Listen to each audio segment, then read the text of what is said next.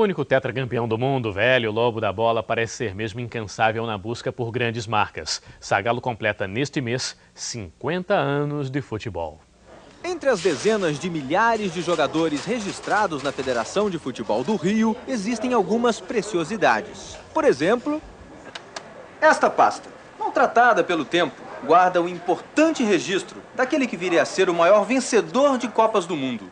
No mesmo dia em que a seleção se reunir para enfrentar a Argentina, Zagallo estará completando 50 anos de futebol.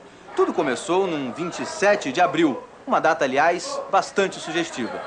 27 do 4, 2 mais 7 mais 4 dá 13, claro.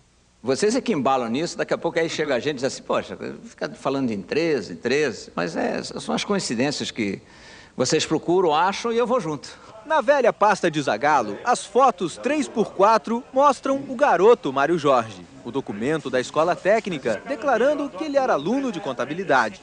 Zagallo foi registrado em abril de 48 como atleta amador do América. E em 51 assinou seu primeiro contrato profissional com o Flamengo. Salário, mil cruzeiros mensais.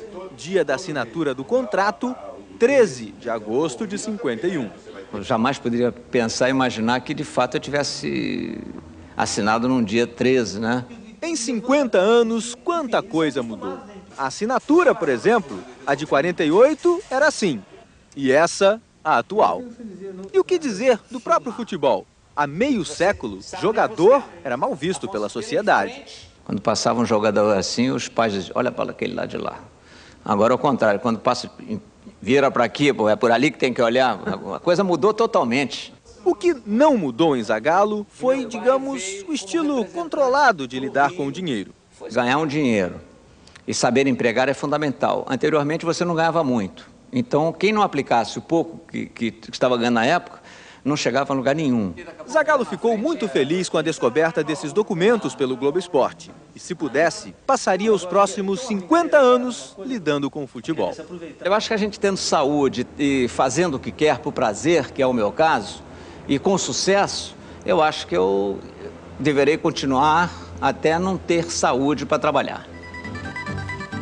Parabéns a Zagalo e uma boa tarde.